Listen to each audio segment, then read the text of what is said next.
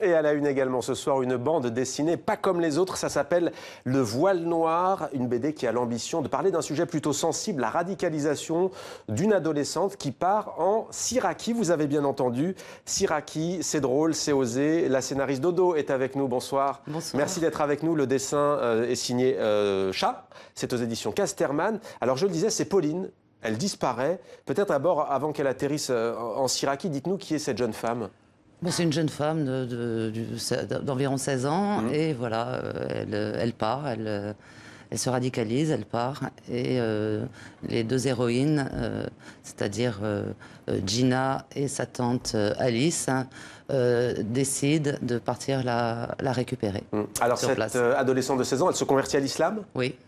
Pourquoi? Par mal-être euh, Par... euh, Par- on n'en parle pas tellement par mal-être, oui, je pense qu'en général c'est le cas. Donc, euh, Comme un c'est par refuge. mal-être, Mm. oui, un refuge. Et puis elle voulait partir, euh, aider, faire un peu d'humanitaire. hmm, de l'humanitaire en Siraki et vous l'avez dit, euh, elle va finir par rejoindre le grand califat. C'est Gina hein, qui travaille dans une ONG. Les parents en fait de Pauline appellent Gina. Ils lui demandent justement de l'aide. Le problème c'est que bah, Gina c'est pas trop sa spécialité en fait. hein. Et elle va partir avec sa tante. Vous l'avez dit. Comment vont-elles procéder les deux femmes? Ouais, elles vont pas partir au même moment. hein. Il y a d'abord Gina qui part seule hein, Ouais. et euh, qui va euh, essayer de retrouver Pauline. Et évidemment, euh, quand on est une femme là-bas, euh, on est enfermé dans une Mm. Madafa, la maison, la prison des femmes. Donc on n'a pas beaucoup de moyens d'action et sa tante va partir de son côté et elle va se déguiser en homme. hein. Donc euh, Ouais. elle va être euh, avec, enfin elle va atterrir chez les combattants. Et on les voit euh, à, à la une hein, sur la couverture. euh, Il y a de la fumée noire, il y a des bombes. Les affres de la guerre ne sont pas loin. Non, c'est pas loin, c'est proche, on est, on est dedans. Voilà, c'est un peu en fond. On, on voulait pas non plus montrer. On a fait ça sous forme d'aventure Ouais, et c'est une d'humour. aventure. hein, c'est une aventure hein, euh, traitée, euh, j'espère, avec humour.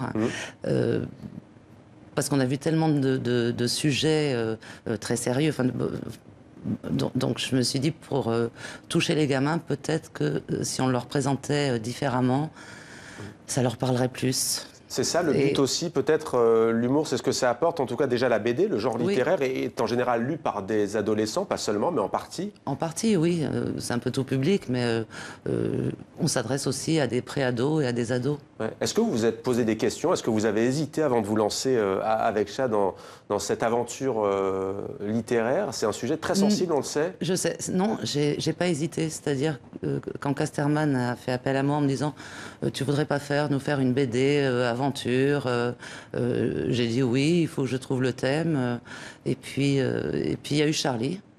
Mhm. On a perdu quand même des potes. euh, On a Ouais. mis euh, du temps à s'en remettre. hein. Et je me suis dit, euh, enfin, je me suis dit, et pourquoi pas faire quelque chose là-dessus, une aventure là-dessus. Mhm.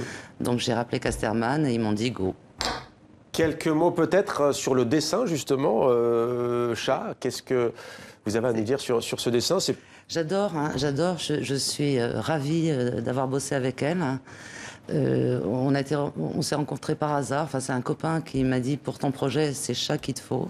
Ouais. Et, euh, et, et je trouve qu'elle enfin, je trouve qu'elle a fait un super boulot. ouais, faire preuve de pédagogisme aussi, du coup, c'est un peu cela ce que. Oui, avez- aussi, aussi, aussi, oui.